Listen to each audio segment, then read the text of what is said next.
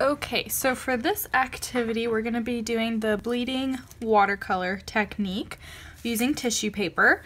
So you're each going to get a 5 by 7 sheet of watercolor paper.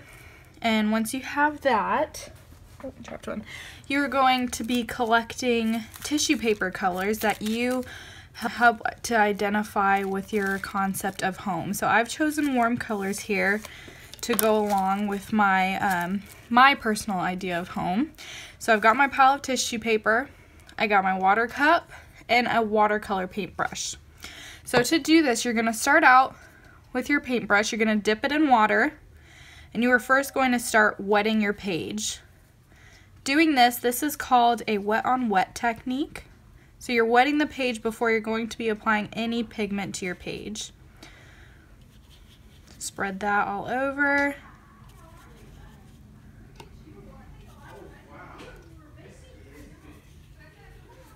And then once you have your page pretty much covered with water, you can always go back and add more. You're going to start laying your tissue paper on top. So I'm going to start with yellow with the warmer or the lighter colors.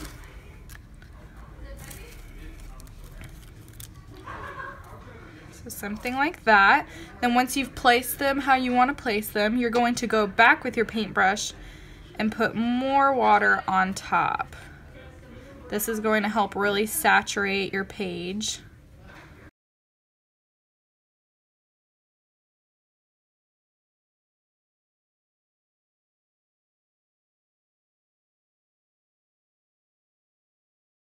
Okay, once you got that first layer done, you can go back with your next color and begin placing that in different random spots.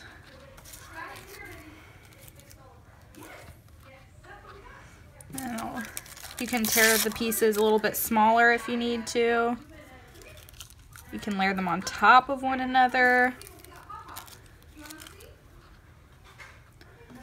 Once you're good with those placement, just go back over.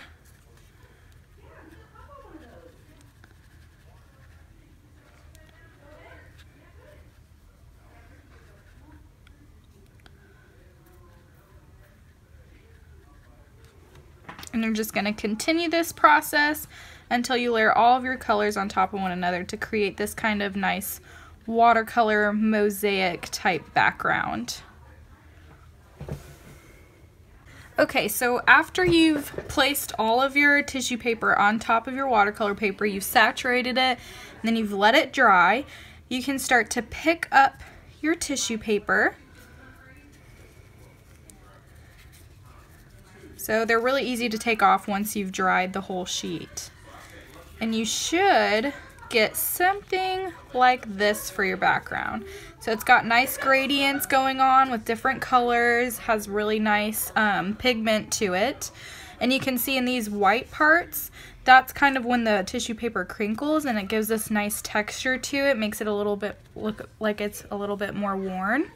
So it gives a really unique type texture to it rather than just putting watercolor on with your basic watercolors.